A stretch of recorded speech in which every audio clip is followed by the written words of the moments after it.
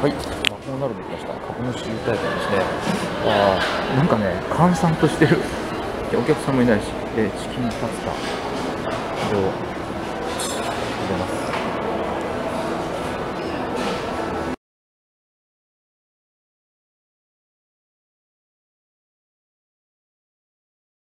回ってきました。えーっとね、まずね、料金は当然、ただ。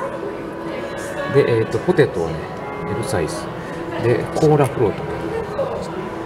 ね、で、チーズ明太。チキンタスタの新しいやつですね。ちょっと開けてみよう。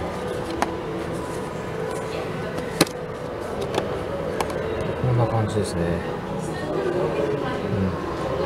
うん。明太とチーズがついてますね。普通で買うと多分、690円かな。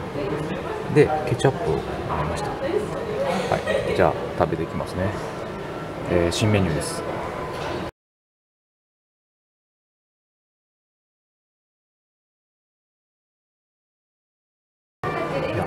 ポテトね、ケチャップをつけるととても美味しいですよ。ね。で、コーラフロートなんですけど、アイスクリームがね、乗ってるんですね。で、チキンタスタ、ちょっとカロリー高いですけどね、たまにはね、このぐらいね、贅沢しないと。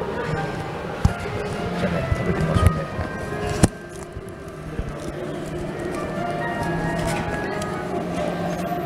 いざ、いざいざ。結構キャベツがね、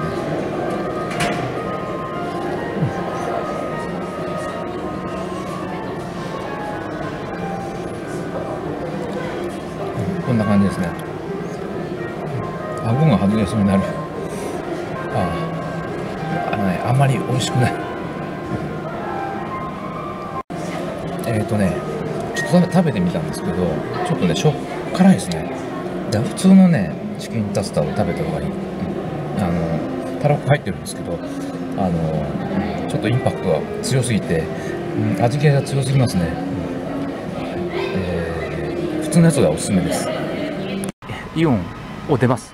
え今日はね、えっ、と、サイゼリアで食事、タダで食べて、映画は超割安で見て、で最後はまたタダでマクドナルドでハンバーグ。まあ、一日株主優待の生活でした。え、ね、とても充実した一日でした。では、えー帰ります。